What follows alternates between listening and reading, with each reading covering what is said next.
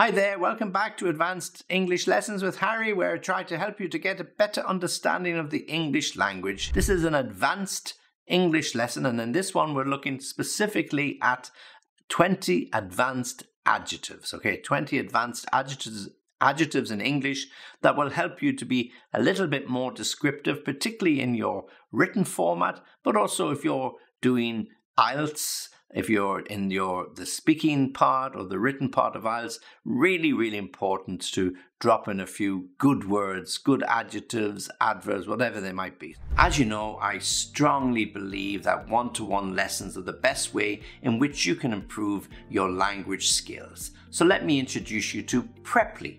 Preply has a one-to-one tutor platform where you can learn how to communicate in a language faster. Preply has thousands of tutors who are native in Spanish, English, Portuguese, German, and over 50 other languages. And with over 32,000 tutors to choose from, you can use their filters to narrow down the selection process to ensure that you get the tutor that meets your needs exactly. Preply connects you with real people expert tutors who can offer customized guidance and support to help you achieve your language learning goals. Plus, with the convenience of online lessons, you can take classes anytime and anywhere that suits your schedule. With Preply's 100% satisfaction guarantee, they will provide a replacement tutor if the first tutor that you select for some reason doesn't meet up to your expectations. So don't you think it's about time that you tried Preply? Make sure you click on the link in the description below to get your 50% reduction in the first lesson that you purchase with Preply.com. Thanks Preply for sponsoring this lesson. So in this particular lesson, we're going to focus on adjectives, 20 advanced adjectives Okay, now a lot of these you might not know, and when you look at the list, you might not understand them at the first time that you look at them. Then please listen to it a couple of times. Take a few of them, not all of them, take a few of them, practice, okay? Look them up in the dictionary, practice them again, trying to see a situation when you can use them. And if you can only and even just use a few of them in your speech, in an email, whatever, it'll help you to understand them much, much better. And you have a much better chance of remembering them because just learning them by heart isn't going to work. You know, within 15, 20 minutes, they'll be gone. So you really have to practice, practice, and yes, more practice. Okay, so we've got 20, and I'm going to give you an explanation as to what it means, each one of them, and then I'll give you a, a couple of examples as to how you might be able to use them.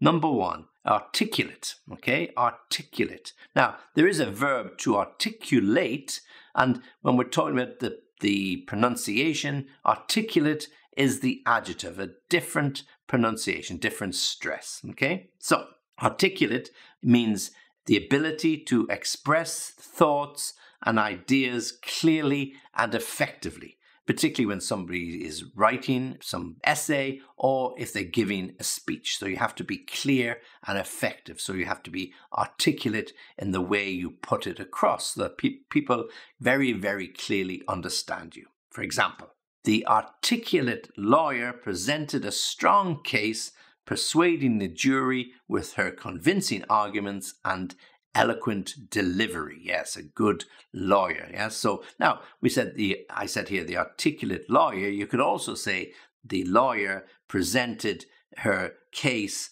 with articulate words or articulate delivery. So you can use articulate in many different ways. But here in my example, it's the articulate lawyer, meaning someone who's very, very clear.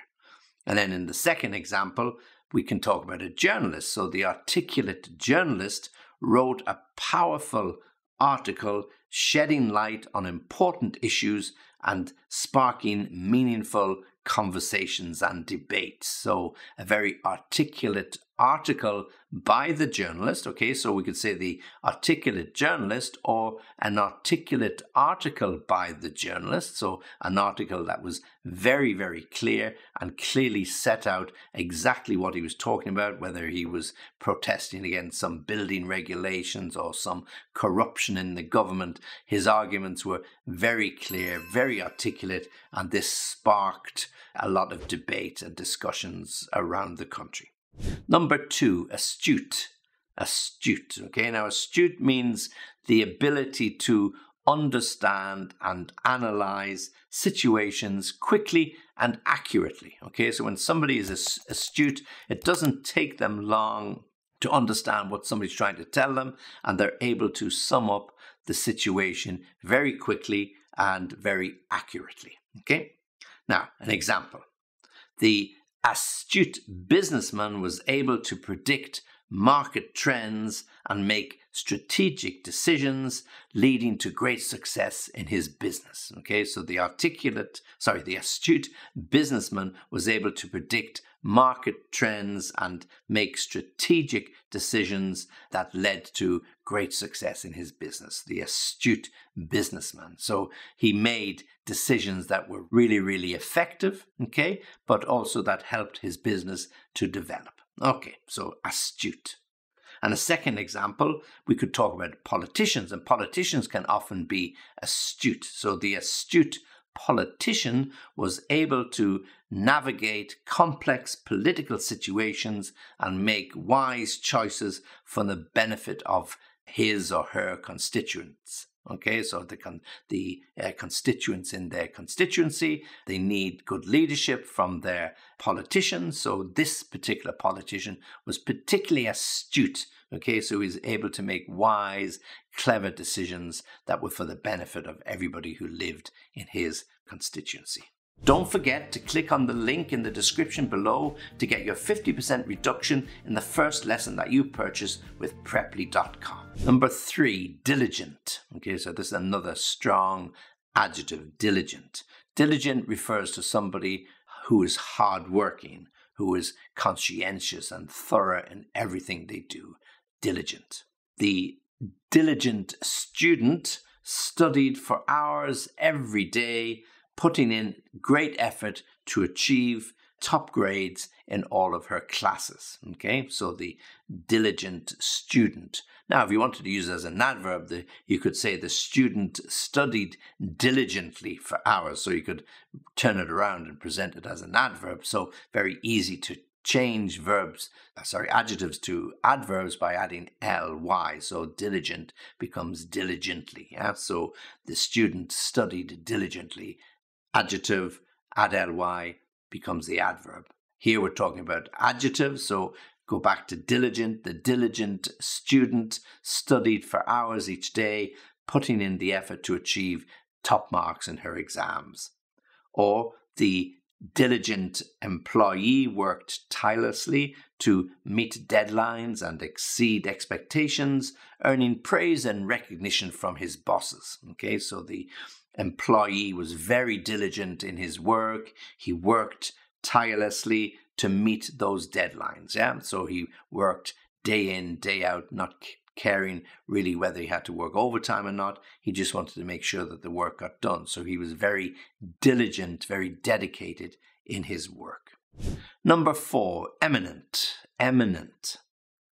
When somebody is eminent, a person is eminent, we refer to them that somebody who is highly respected in the position they hold, the work they do, and they are greatly admired by everybody. So highly respected and admired, often because of great achievements that they, they have achieved or that they have done. Okay, so exa- for example, the eminent scientist made groundbreaking discoveries that revolutionized the field of medicine, earning her numerous accolades and awards. So, the work by this particular scientist, her work was recognized by everybody, and she was soon seen as a real eminent scientist in her field of cancer research or whatever it was that she was studying. She'd made some breakthrough and groundbreaking discoveries in relation to drug treatment or some other way to lessen the impact of these particular uh, diseases. Okay, so an eminent scientist or an eminent politician, if there's such a thing, who's greatly respected, somebody who's been a politician for many, many decades. They could also be described as eminent. In my second example, we talk about an eminent artist, so an artist who is well respected by other members of the artistic world, but also by the general public. So the eminent artist created masterpieces that inspired generations, leaving a lasting legacy in the world of art. Okay, so the eminent artist who created sculptures or paintings that were really beautiful, amazing technique, and these were certainly uh, revered by everybody who, who has uh, seen them. Number five, impartial. So we're talking, let's say, remember, we're talking about um, adjectives here. So impartial. Impartial means somebody that has an unbiased and fair view of whatever the situation is, an unbiased and fair view of other people, an unbiased and fair view of the situation, an unbiased, fair view of the competition. Okay? So, for example,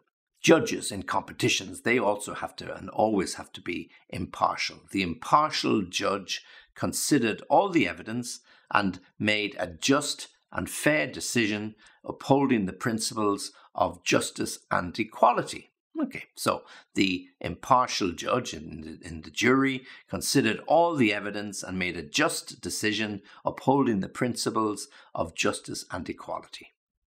Or the impartial journalist re- reported on the news objectively. So if he's impartial, he's going to be objective. So he reported on the news objectively, presenting all sides of the story and avoiding sensationalism or bias. Okay, so he presented the facts as they were. He didn't color it in any way. He didn't lean in, in favor of one or the other. He gave an objective or unbiased or impartial view on the situation and allowed the reader to make up his own mind, which is a good sign of good journalism.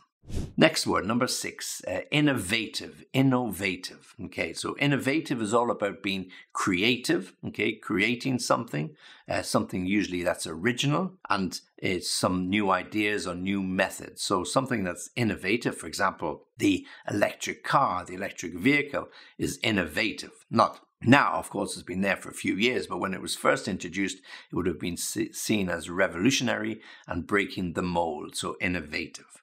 For example, the innovative entrepreneur invented a new product that solved a common problem, disrupting the market and attracting a large customer base. So, when we first saw the introduction of the World Wide Web, the introduction of emails, the introduction, introduction of mobile phones. These were, of course, innovative inventions, something that nobody had ever seen before.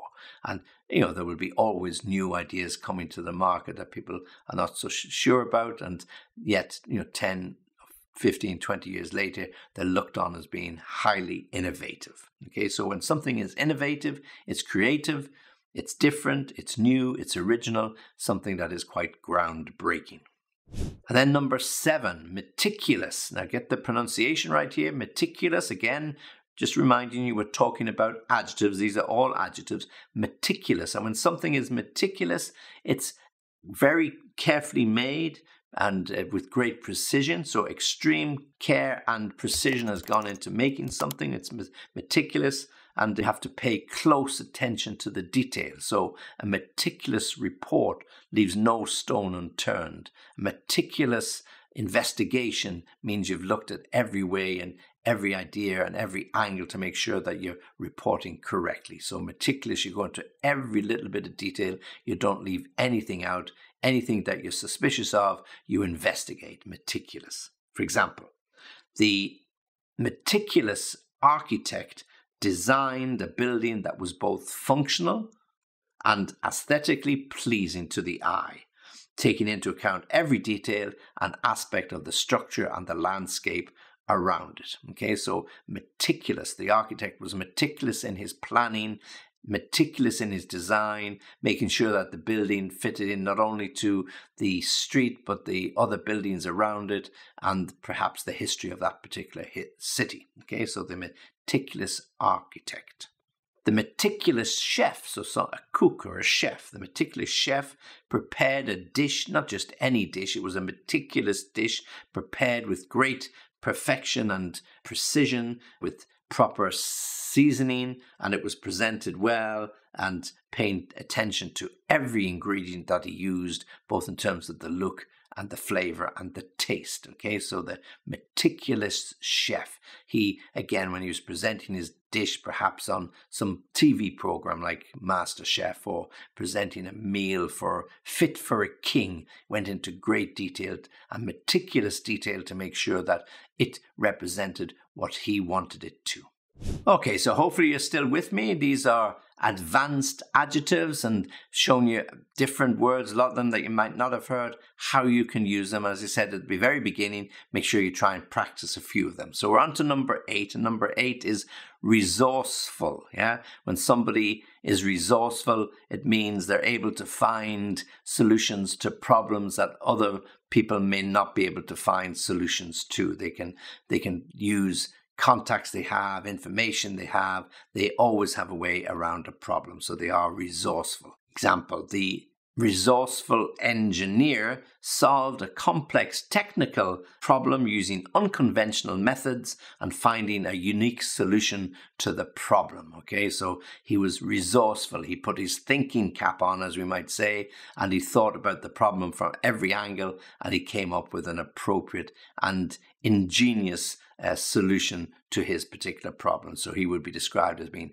extremely resourceful.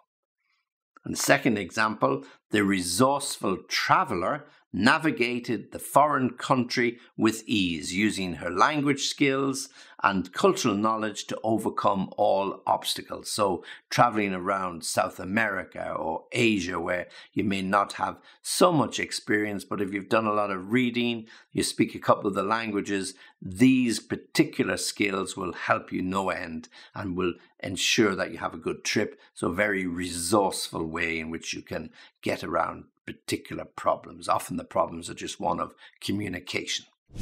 Number nine, resilient. Resilient. Okay, now somebody who is resilient is someone who is able to recover quickly from difficulties or from setbacks and adapt to any new circumstances that put in their way. They are resilient. Okay, the resilient athlete bounced back from a, a series of injuries, working hard to regain his strength, and eventually achieve his great success by winning a gold medal. So, very resilient. Lots and lots of injuries, time and time again, but he got back on the road to recovery, built up the leg or whichever part of the body that had been injured frequently, and he achieved his ultimate goal by winning a medal in some European or perhaps world or even Olympic championships. So to be resilient. A second example the resilient entrepreneur weathered the challenge of starting a new business, learning from previous failures, and adapting to changing market conditions. So, the resilient entrepreneur. This was not his first time to get into business, and maybe on the back of a few previous failures, other people would have just given up. He didn't. He showed his resilience uh, and he proved that he was able to make a success of his business. So, he was very, very resilient. Yeah, and the, with the T on the end of that adjective, resilient, the noun showed great resilience.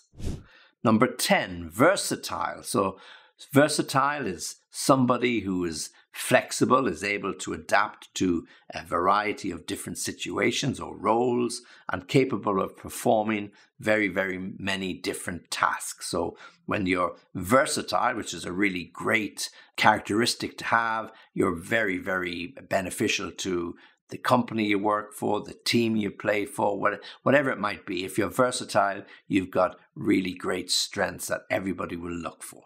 The versatile actor, for example, the versatile actor played a wide range of characters, demonstrating her ability to portray different emotions and personalities. So she wasn't just known as a, comedian, she wasn't known just as a serious actor. She could do Shakespeare or she could act in theatre or on the small or the large screen. So extremely versatile.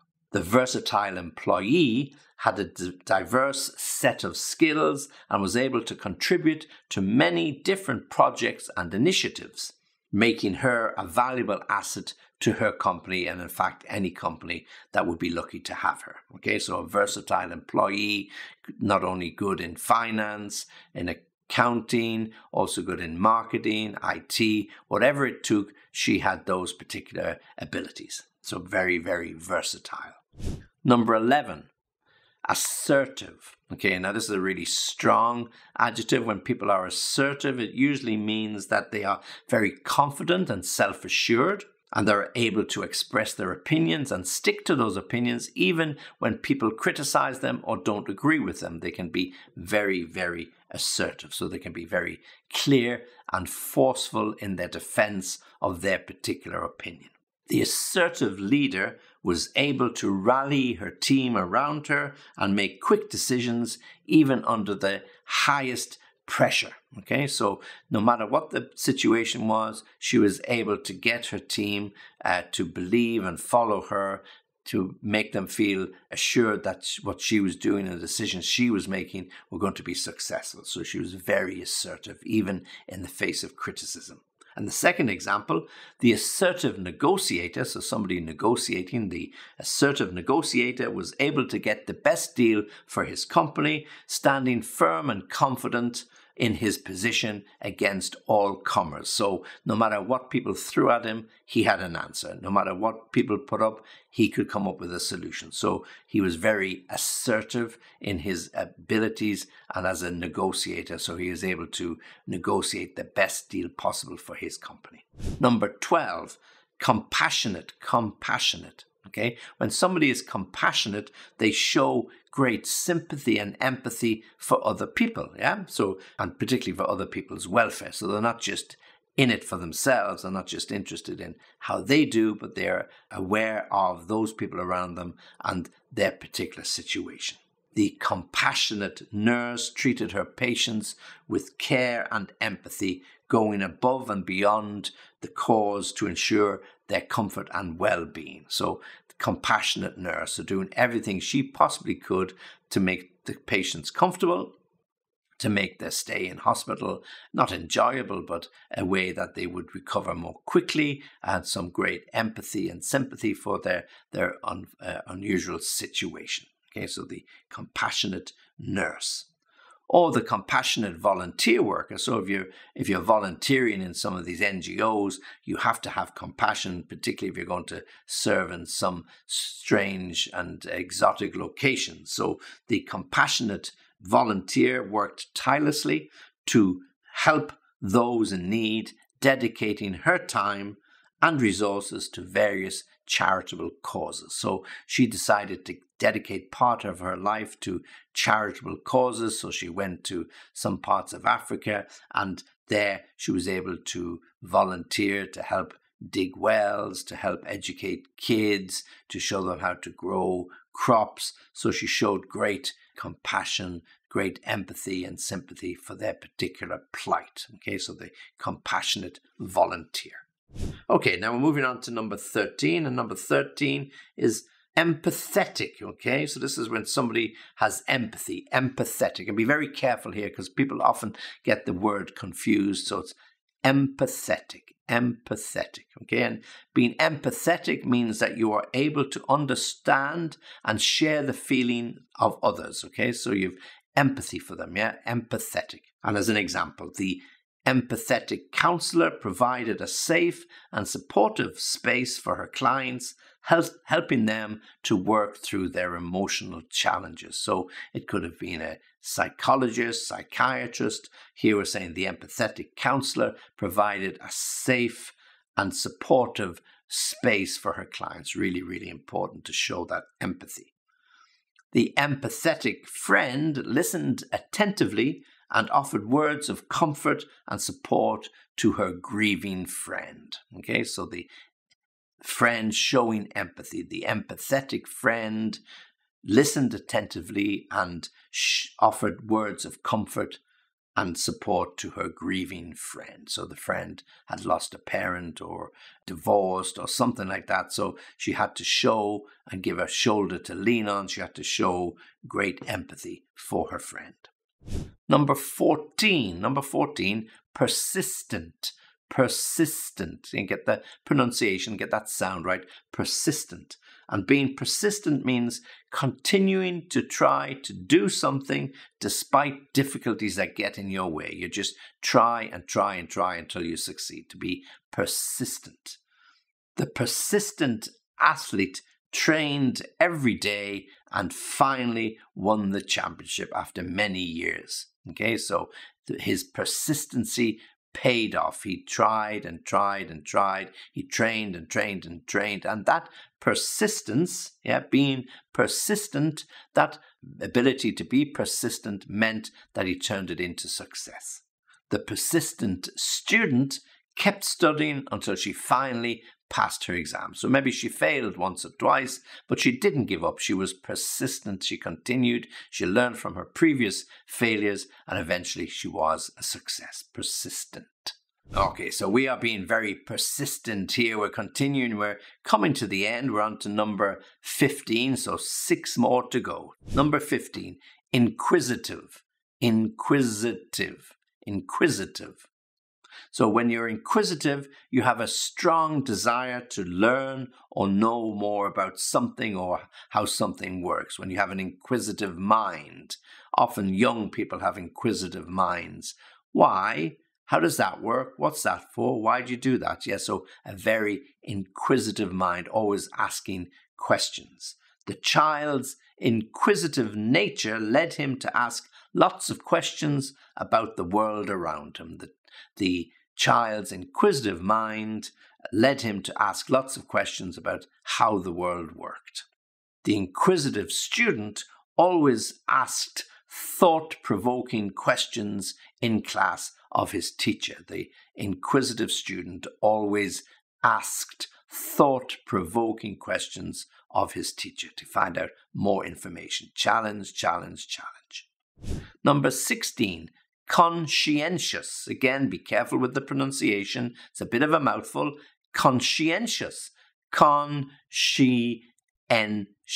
Conscientious. And when somebody is conscientious, it means they are diligent, they are responsible, they are thorough, and they're very careful about their work. Okay, so the conscientious worker. Okay, conscientious, diligent, responsible, and thorough. So, as an example, she is a conscientious student. She is a conscientious student who always submits her assignments on time and puts in a lot of effort. A conscientious student. So lots of S sounds. Uh, she is a conscientious student who always submits her assignments on time. The conscientious employee double checks his work to ensure there are no mistakes. The conscientious employee always checks his work twice or double checks it to make sure there are no mistakes.